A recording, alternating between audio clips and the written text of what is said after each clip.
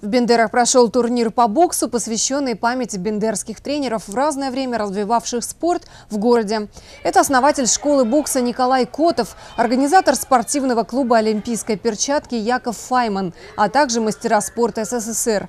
Сегодня 150 их молодых преемников, среди которых призеры европейского первенства, сошлись на ринге, чтобы напомнить всем имена великих бендерских спортсменов. Участвуют три команды из города Кишинева, город Аргеев, Чедерлунга, Тирасполь и Бендеру.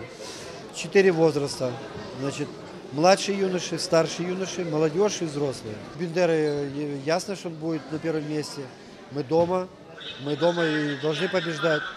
Турнир памяти бендерских тренеров в городе проводится уже в пятый раз. В этом году организаторы разыграли 30 комплектов наград. Победителями стали воспитанники Бендерской школы бокса, заняли 19 первых мест. 8 золотых наград оказались в копилке тираспольских спортсменов. 5 уехало в Кишинев.